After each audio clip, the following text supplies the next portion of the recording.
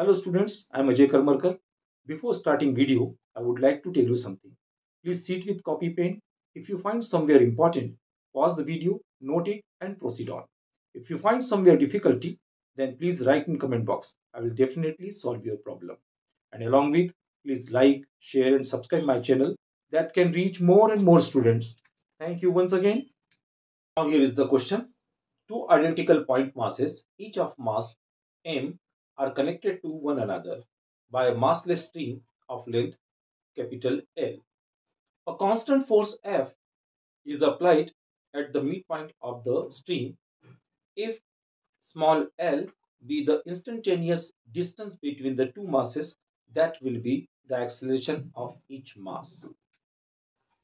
In this question, we have given two identical point masses which having the mass is m, which is connected with a string, light string it means there is no mass considered. And when it is pulled, some force is applied exactly midpoint of this string. Okay, and this whole system is kept on the table. It means very simple. There is no any gravitational forces applied. it, it is a frictionless. And when just we have to pull out or we have to applying the force, then it come to closer. It means they are come to closer that we having some acceleration. And we have to calculate that acceleration okay? So whenever we have to pull out like this this l become l by 2 l by 2 and at instantaneous position the distance between the like that we have considered suppose this object come to closer and the distance become l. So exactly at midpoint the distance become l by 2 is it clear so here tension is applied. Let us consider this angle is theta. So resolving two components that is separately we have data draw separately. Let us consider theta.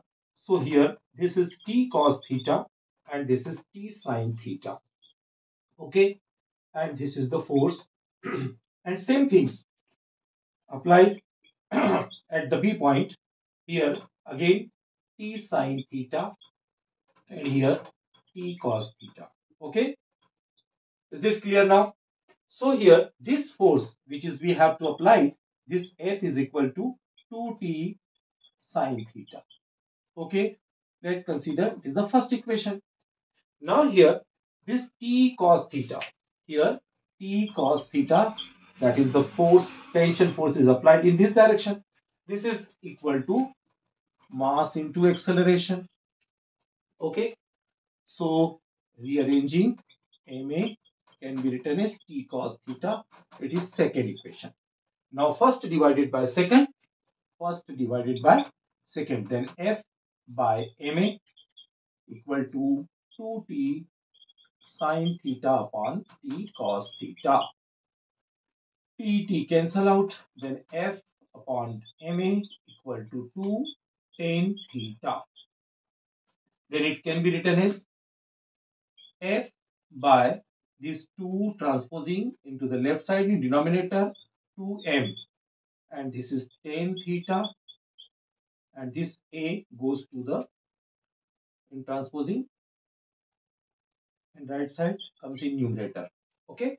So f by 2m tan theta equal to a.